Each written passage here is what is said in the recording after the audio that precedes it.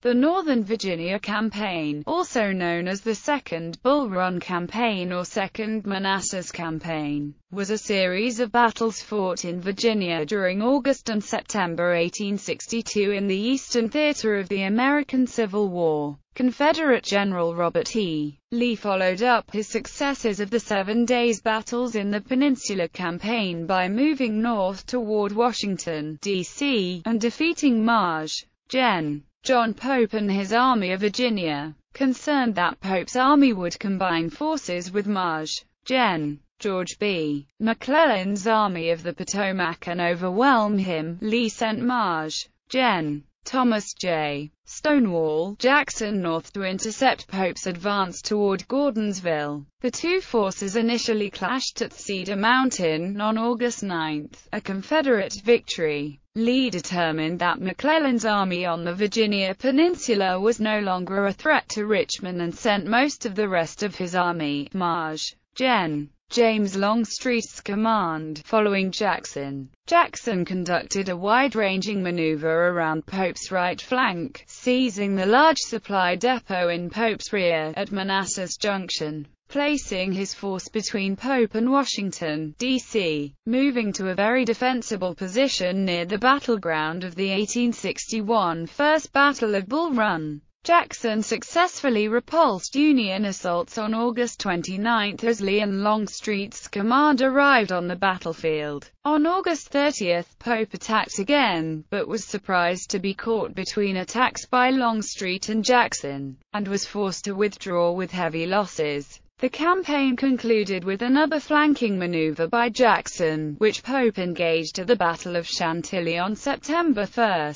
Lee's maneuvering of the Army of Northern Virginia against Pope is considered a military masterpiece. Historian John J. Hennessy wrote that, Lee may have fought cleverer battles, but this was his greatest campaign, background and opposing forces. I have come to you from the West, where we have always seen the backs of our enemies, from an army whose business it has been to seek the adversary and to beat him to when he was found, whose policy has been to attack and not defense. Let us look before us, and not behind. Success and glory are in the advance, disaster and shame lurk in the rear. John Pope, order to the officers and soldiers of the Army of Virginia. July 14 After the collapse of McClellan's Peninsula Campaign in the Seven Days Battles of June 1862, President Abraham Lincoln appointed John Pope to command the newly formed Army of Virginia. Pope had achieved some success in the Western Theater, and Lincoln sought a more aggressive general than McClellan. Pope did not endear himself to his subordinate commanders. All three selected as corps commanders technically outranked him, or to his junior officers by his boastful orders that implied Eastern soldiers were inferior to their Western counterparts.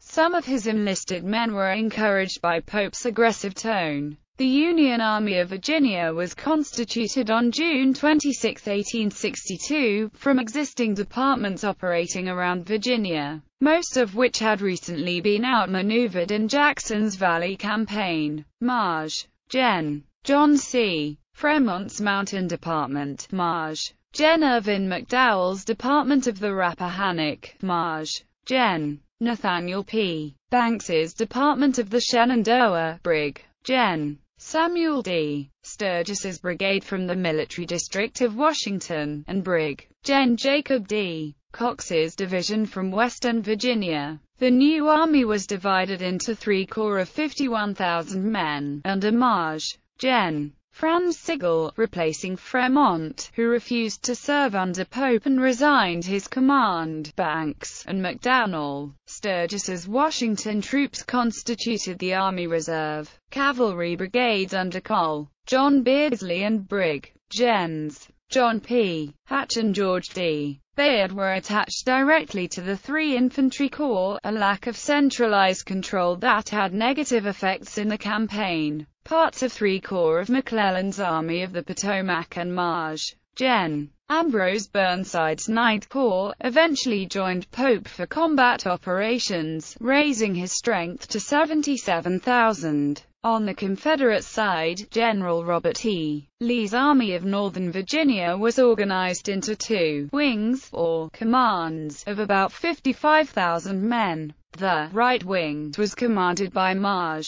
Gen. James Longstreet, the left by Maj. Gen. Stonewall Jackson. The cavalry division under Maj. Gen. J.E.B. Stuart was attached to Jackson's wing. The Confederate organization was considerably simpler than the one Lee inherited for the Seven Days Battles. In that campaign there had been 11 separate divisions, which led to breakdowns in communications and the inability of the Army to execute Lee's battle plans properly. William H. C. Whiting, Theophilus Holmes, Benjamin Huger, and John B. Magruder were all reassigned elsewhere. The command structure was reorganized as follows. Jackson's wing comprised his Old Valley Army, the Stonewall Division and Maj. Gen. Richard Ewell's division, plus the newly added command of Maj. Gen. A.P. Hill. Longstreet had seven divisions. His former command was divided into two parts led by Brig. Gens. Cadmus Wilcox and James Kemper. Maj. Gen. Richard H. Anderson got Huger's division, and Brig. Gen. John B. Hood Whiting's. Brig. Gens. David R. Jones and Lafayette McLaws continued in command of their divisions, both of which had been part of Magruder's Army of the Peninsula. Maj. Gen. D.H. Hill's command was also placed under Longstreet. Also joining was Brig. Gen. Nathan G. Shanks, Evans's Independent South Carolina Brigade. McLaws and Hill were left in Richmond, and so Longstreet would take only five divisions north. Plans and initial movements Pope's mission was to fulfill her few objectives protect Washington and the Shenandoah Valley, and draw Confederate forces away from McClellan by moving in the direction of Gordonsville. Pope started on the latter by dispatching cavalry to break the Virginia Central Railroad connecting Gordonsville, Charlottesville, and Lynchburg. The cavalry under Hatch got off to a slow start and found that Stonewall Jackson had already occupied Gordonsville on July 19 with over 14,000 men. Pope had an additional, broader objective, encouraged by Abraham Lincoln. For the first time, the Union intended to pressure the civilian population of the Confederacy by bringing some of the hardships of war directly to them. Pope issued three general orders on this subject to his army. General Order No. 5 directed the Army to subsist upon the country, reimbursing farmers with vouchers that were payable after the war only to loyal citizens of the United States, to some soldiers. This became an informal license to pillage and steal. General Orders 7 and 11 dealt with persistent problems of Confederate guerrillas operating in the Union rear. Pope ordered that any house from which gunfire was aimed at Union troops be burned and the occupants treated as prisoners of war. Union officers were directed to arrest all disloyal male citizens within their lines or within their reach. These orders were substantially different from the war philosophy of Pope's colleague McClellan, which undoubtedly caused some of the animosity between the two men during the campaign. Confederate authorities were outraged and Robert E. Lee labeled Pope a miscreant, and added that he ought to be suppressed based on his experiences in the Seven Days. Lee concluded that McClellan would not attack, and he could thus move most of his army away from Richmond. This allowed him to relocate Jackson to Gordonsville to block Pope and protect the Virginia Central. Lee had larger plans in mind. Since the Union Army was split between McClellan and Pope and they were widely separated, Lee saw an opportunity to destroy Pope before returning his attention to McClellan. On July 26, Lee met with cavalry legend and partisan fighter Captain John S. Mosby, who had just been exchanged as a prisoner of war. Coming through the Hampton Roads area in Union custody, Mosby observed significant naval transport activity and deduced that Maj. Gen. Ambrose Burnside's troops, who had fought in North Carolina, were being shipped to reinforce Pope. wanting to take immediate action before those troops were in position. The next day Lee committed Maj. Gen. A.P. Hill to join Jackson with 12,000 men, while distracting McClellan with artillery bombardments and diversionary movements. McClellan advanced a force from Harrison's Landing to Malvern Hill, and Lee moved south to meet the threat. But McClellan eventually withdrew his advance. Still convinced that he was heavily outnumbered, he sent messages to Washington that he would need at least 50,000 more men before he could attempt another attack on Richmond. On August 3, General-in-Chief Henry W. Halleck directed McClellan to begin his final withdrawal from the peninsula and to return to Northern Virginia to support Pope. McClellan protested and did not begin his redeployment until August 14.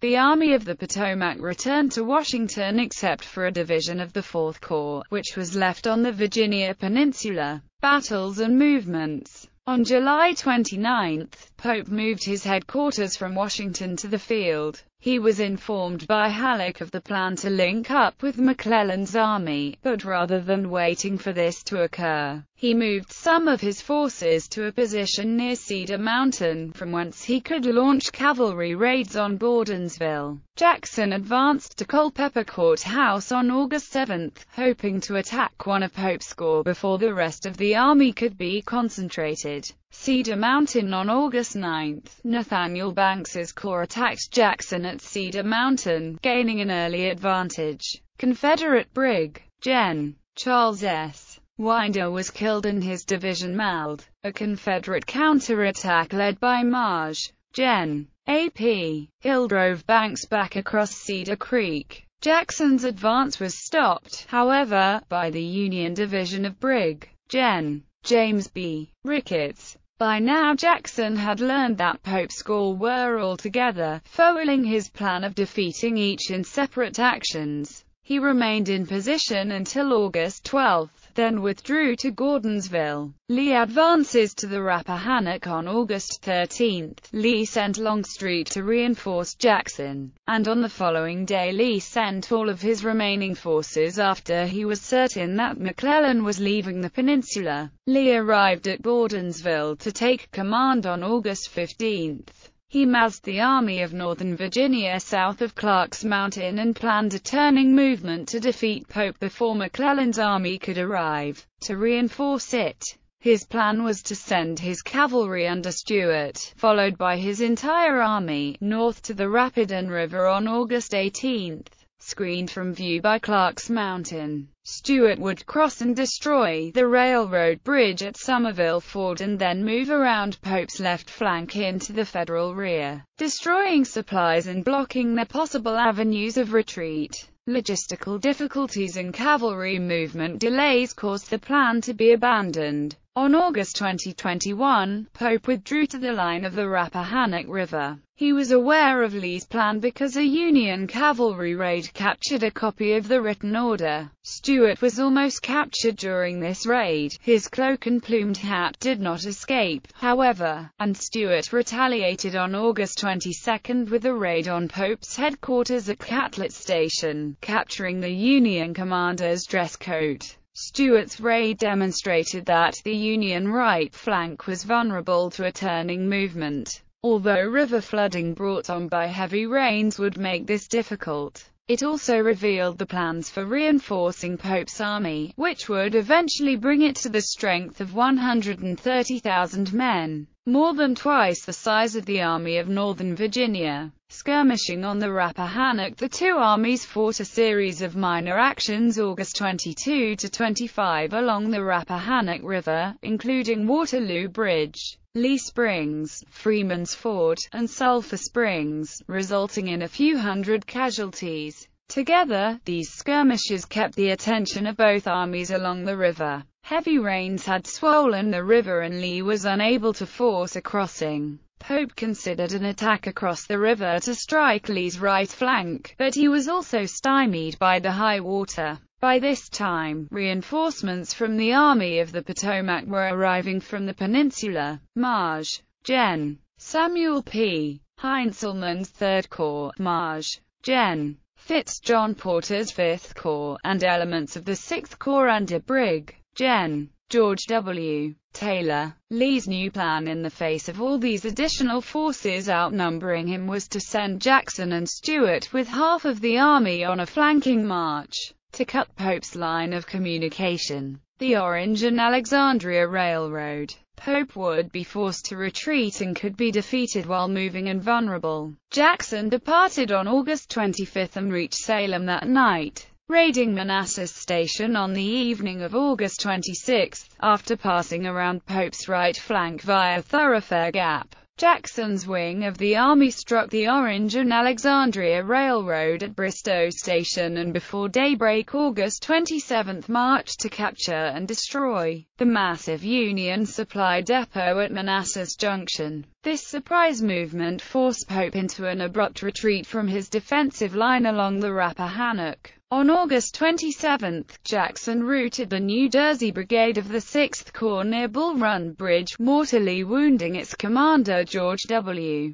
Taylor. Marge. Gen. Richard S. Ewell's Confederate division fought a brisk rearguard action against Marge. Gen. Joseph Hooker's division at Kettle Run, resulting in about 600 casualties. Ewell held back Union forces until dark. During the night of August 27 August 28, Jackson marched his divisions north to the First Bull Run battlefield, where he took position behind an unfinished railroad grade, Thoroughfare Gap after skirmishing near Chapman's Mill in Thoroughfare Gap. Ricketts's Union Division was flanked on August 28 by a Confederate column passing through Hopewell Gap several miles to the north and by troops securing the high ground at Thoroughfare Gap. Ricketts retired, and Longstreet's wing of the army marched through the gap to join Jackson. This seemingly inconsequential action virtually ensured Pope's defeat during the battles of August 29-30 because it allowed the two wings of Lee's army to unite on the Manassas battlefield. Ricketts withdrew via Gainesville to Manassas Junction.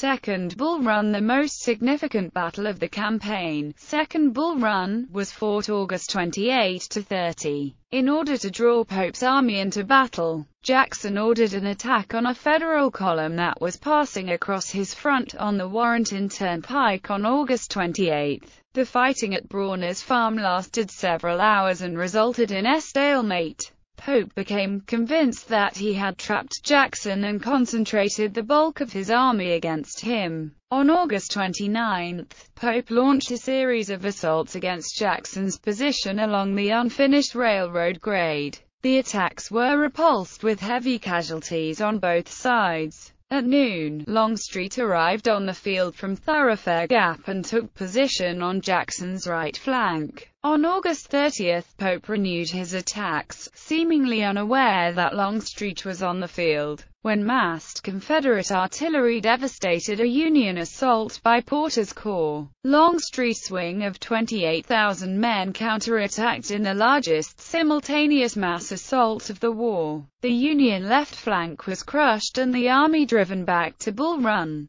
Only an effective Union rearguard action prevented a replay of the first Bull Run disaster. Pope's retreat to Centreville was precipitous, nonetheless. The next day, Lee ordered his army to pursue the retreating Union army. Chantilly making a wide flanking march, Jackson hoped to cut off the Union retreat from Bull Run. On September 1, beyond Chantilly Plantation on the Little River Turnpike near Ox Hill, Jackson sent his divisions against two Union divisions under Marge, Gens, Philip Kearny and Isaac Stevens. Confederate attacks were stopped by fierce fighting during a severe thunderstorm. Union Generals Stevens and Kearny were both killed. Recognizing that his army was still in danger at Fairfax Courthouse, Pope ordered the retreat to continue to Washington. Aftermath The Northern Virginia campaign had been expensive for both sides, although Lee's smaller army spent its resources more carefully. Union casualties were 16,054 out of about 75,000 engaged, roughly comparable to the losses two months earlier in the Seven Days Battles. Confederate losses were 9,197 of 48,500. The Army of Northern Virginia acquired that magnificent morale which made them equal to twice their numbers, and which they never lost even to the surrender at Appomattox and Lee's confidence in him, and theirs in him, were so equal that no man can yet say which was greatest. Edward Porter Alexander, fighting for the Confederacy the campaign was a triumph for Lee and his two principal subordinates. Military historian John J. Hennessy described it as Lee's greatest campaign the happiest marriage of strategy and tactics he would ever attain. He balanced audacious actions with proper caution and chose his subordinates' roles to best effect. Jackson's flank march 54 miles in 36 hours into the rear of the Union Army was the boldest maneuver of its kind during the war, and Jackson executed it flawlessly. Longstreet's attack on August 30, timely, powerful, and swift, would come as close to destroying a Union army as any ever would. Pope, outmaneuvered by Lee, was virtually besieged in Washington. If it were not for his close political and personal ties to President Lincoln, his military career might have been completely ruined. Instead, he was transferred to Milwaukee, Wisconsin, and command of the Army's Department of the Northwest, where he fought the Dakota War of 1862. Maj. Gen. George B. McClellan assumed command of all Union forces around Washington, and his Army of the Potomac absorbed the forces of the Army of Virginia, which was disbanded on September 12, 1862. With Pope no longer a threat and McClellan reorganizing his command, Lee turned his army north on September 4 to cross the Potomac River and invade Maryland, initiating the Maryland Campaign and the battles of Harper's Ferry, South Mountain, and Antietam. The Bull Run battlefields are preserved by the National Park Service in Manassas National Battlefield Park.